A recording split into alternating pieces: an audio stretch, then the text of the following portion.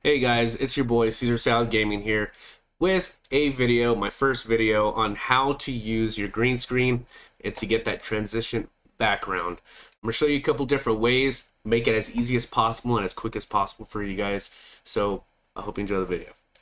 So uh, I'm going to show you guys here on my my display capture, uh, first of all, um, right here on my, my OBS. So here's my OBS right here. You can see the stuff in the background. Uh, first thing you want to do is make sure that you have your video, whatever video capture device you have. I'd imagine that you already got that set up. So quick and easy, click on this, make sure you click on it, left click, then right click it, go over to filters, edit filters. This is with Streamlabs OBS. you can do the same thing with a regular OBS as well. Click on add filter, just delete this. Add filter, filter type, chroma key. Okay. It's gonna come up with this little deal back here. Uh, mine's per it's already preset. Uh, I'm gonna mess with it right now just to show you how how yours would probably end up looking like. Um, so we could go through it together. Uh, so it'll be something like this, right? You press close and then you know you, you tab out and it's it doesn't look you know very very good. One of the most important things that you want to do is make sure that you have great lighting. You have to have that great lighting so that way the the light catches the green or whatever color you have in the background. Uh, so I'm going back here to edit filters back to chroma key make sure to click the color that you have. Mine is green so that's what I have back here. As you can see it's green if you don't have any idea on how to do any of this stuff, you could also go down to custom, click on this little deal down here, go to the color that you have back here, and that's that color right there. That's perfect. Okay. Uh, after you get that done, you then go to your similarity. Similarity is what's going to be the, the, the background. That's what's going to cut out the uh, um, that background stuff. So I'm going to put it back to green because that's what it is. Um, it's making me look like a dumbass because uh, I don't know why it's not working.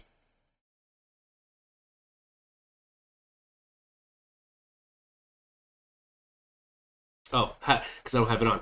Okay. Uh, sorry about that, guys. All right. So you just mess with this right here just to, you, you see that little black thing on my face? You don't want that. So go back just a little bit. Uh, you can mess with it a little bit. You can see the 409 right here, and I still have that mess on my face right here. Um, you can keep on going back. If it's too, if you do too much, so 392 and 409, so I'll do like 400 to see how that works. Nope, that's not good. Three, oops, 399 It's a little bit better, but still not perfect. 397 That's pretty decent, so it looks pretty good. Got that black background, close. And then once you, you get that, you know, looks pretty good. It looks decent. It's not the best. Oops, wrong one. Uh, it's not the best, but it's it's still still pretty good. Um, so I'm gonna try to make it absolutely perfect. Again, lighting is everything. So you want that background to be completely black, uh, as black as possible. Um, so there's that, you know, I still got that, that mess right here. You can mess with the smoothness. Uh, the smoothness is going to help. Oh, too much. It's pretty good. Okay, so that looks that looks pretty good. That looks pretty good. It looks pretty clear. Looks pretty good. That's right there. You can still see you know, with my lighting, my lighting isn't the best right now, but it's still pretty, pretty decent. Um, go here to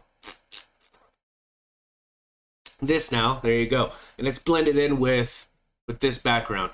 Now, one of my buddies, one of my friends had said, hey, Caesar, um, can you help me with putting like a background picture, you know, down behind me?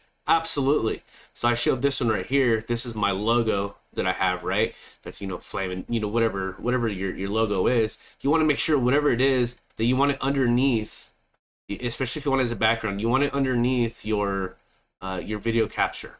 So you just drag it, and then the video capture is, you know, that this is right behind it, and then you could adjust, you know, however you want the the logo to be or the picture, you know, you on the beach, whatever whatever the the thing is that you're trying to put back there, um, you can use.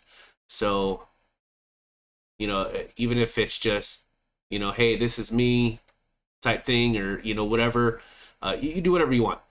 Just make sure that your whatever background that you're using is underneath your video capture.